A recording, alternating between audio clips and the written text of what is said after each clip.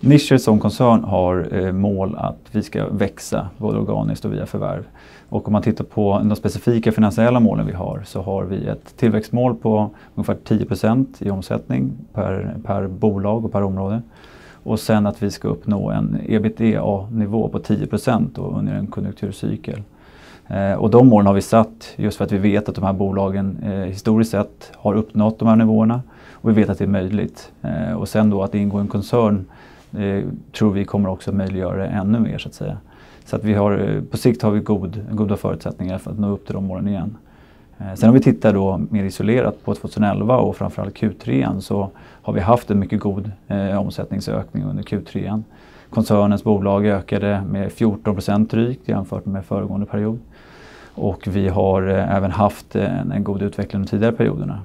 Sen kostnadsmässigt har vi haft lite engångskostnader och eh, oförutsägbara kostnader. Så att säga. Vi har haft först den strukturaffären som genomfördes i våras där vi tog stora kostnader för, för det omvända förvärvet och den, den strukturändringen.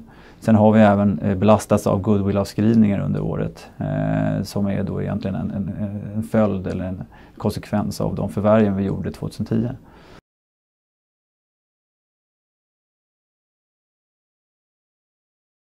Ja, att vara verksam inom en nischad bransch eh, kan innebära flera saker. Först och främst så är det en relativt stabil marknad.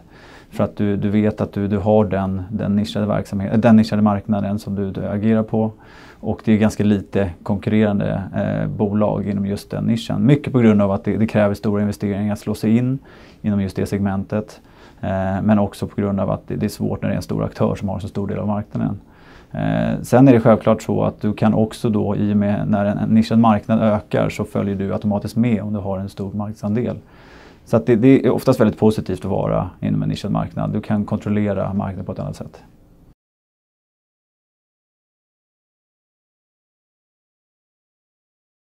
Vi har ju väldigt tydliga eh, strategier och mål för kommande år. Eh, framförallt när det gäller tillväxt. Vi eh, kommer vilja växa snabbt eh, under nästkommande år. Och med de målen vi har när det gäller tillväxt på, på existerande bolag eh, med en organisk tillväxt på ungefär 10% kommer vi inte nå upp till de målen utan det kommer kräva även förvärv. Eh, både förvärv för att bygga vidare på de grupperingar vi har idag och är aktiva inom. Men framförallt också då eh, att titta på andra grenar. Och där ser vi att vi vill inte bli för breda men vi vill kanske hitta ett fjärde ben som vi kan bygga vidare på. Både under Industric och under nischer. Då. Ja, situationen har ju förändrats ganska markant, eh, från vad vi ser i alla fall. Eh, I våras så, så, gled många av bolagen vidare på den högkonjunktur som, som rådde. Och där märkte man att det var mindre bolag ute i försäljning och framförallt var det en ganska hög prislapp på de bolag som låg till försäljning. Nu märker vi att många av bolagen som kanske genomgick en, en lågkonjunktur för några år sedan och som försökte eh, egentligen få lönsamhet i den under 2010 och 2011 har nu märkt att eh, det är en, eventuellt en avvaktan och en konjunkturförändring på gång. Vilket gör att de kanske inte är angelägna att, att gå igenom den en gång till. Så att vi märker att med fina siffror i baken och med, med en god utveckling de senaste ett och ett halvt åren så försöker man sälja bolagen.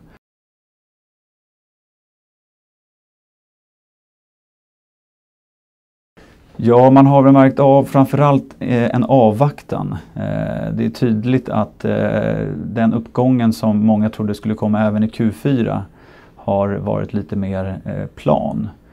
Det har kanske inte varit den uppgången som man hade trott både för 11 och framförallt även för 12. Att samtliga prognoser som man tittar på, på olika typer av branschutveckling och annat så ser man att prognoserna är mera konservativa och, och lite mer plan utveckling än, än, än ökning.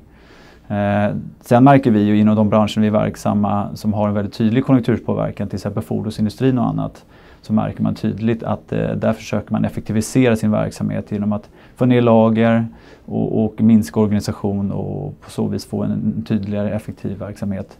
Eh, och det, det, blir ju vi belastade av som leverantör till de verksamheterna. Dock blir ju det bara en, en temporär period när den här, eh, de här åtgärderna effektiviseras och realiseras. Men vi har märkt under Q3, det har vi.